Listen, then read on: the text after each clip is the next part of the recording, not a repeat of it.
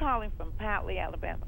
I had a fall in a local store, and uh, I walked in the door, and they had some cardboard on the floor by as I was walking down the aisle, and I slipped and fell. Mm-hmm. And it's on the video camera. And when I talked to the company, they said that um, the video speaks for itself. Then I called back about two weeks later, and they told me that Alabama have an obvious law, and uh, so they told me that they would have to turn my, you know, my case over to the vendor that left the cardboard. But uh, what do you think about that? I've talked to several attorneys, and they say Alabama do have that obvious law, but the cardboard was on the floor, and I walked in the door, and I just slipped and fell. Well, a if good it's question. yeah, that's a good question. It is. If it's open and obvious, that can be a defense for them.